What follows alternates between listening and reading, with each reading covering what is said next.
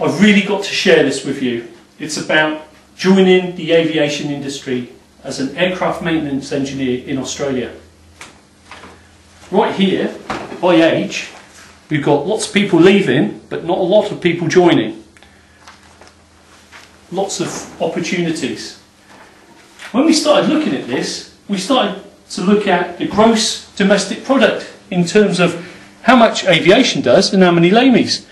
I wrote this down and I thought, I've got to share this with you. So, we got 0.6 of the gross domestic product of Australia, 6.8 billion. There's only 7,000 licensed aircraft maintenance engineers in Australia. Let's pretend they're all working and in Australia.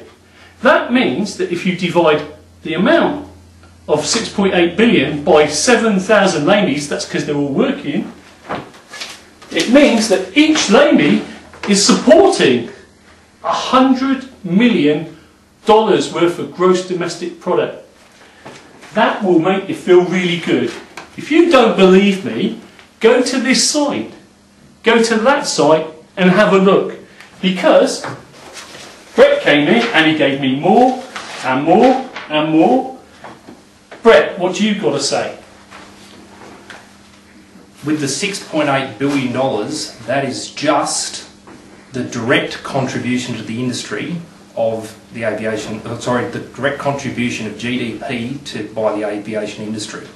If you look worldwide and you take into account all the tourism, all the freight, all of the mining and all of the oil industries aviation supports, and you called the GDP of aviation a country, it would rank number eight in the world.